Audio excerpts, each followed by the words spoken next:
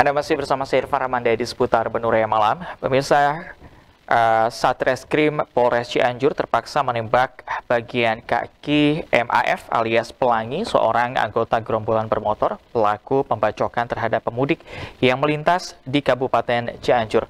Pelaku dilumpuhkan petugas karena melawan saat hendak ditangkap.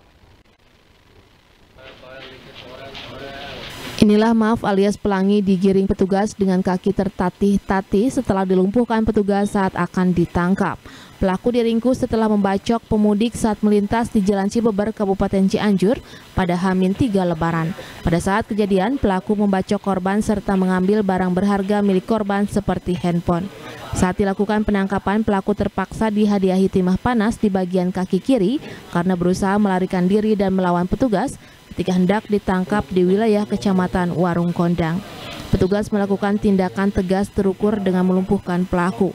Pelaku merupakan anggota gerombolan bermotor yang kerap membuat onar dan tak segan melukai korbannya. Atas pengakuan Maaf alias Pelangi, ia mengaku sebagai otak pelaku. Polisi masih memburu dua orang pelaku lainnya yang sudah masuk daftar pencarian orang atau DPO. Saat kejadian, keduanya ikut terlibat membacok pemudik dan juga menyerang warga.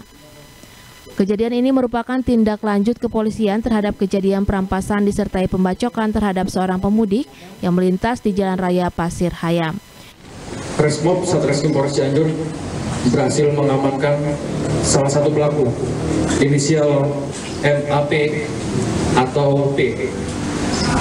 Pada saat uh, dilakukan pengamanan, tersangka berusaha melakukan perlawanan kepada petugas sehingga kita melakukan tindakan tegas dan terukur kepada yang bersangkutan. Kini pelaku dijerat dengan pasal 170 ayat 2 ke 1E KUHP dan pasal 2 ayat 1 Undang-Undang Nomor 12 Tahun 1951 atau Undang Darurat dengan ancaman kurungan 12 tahun penjara. Heri Setiawan, Bandung TV.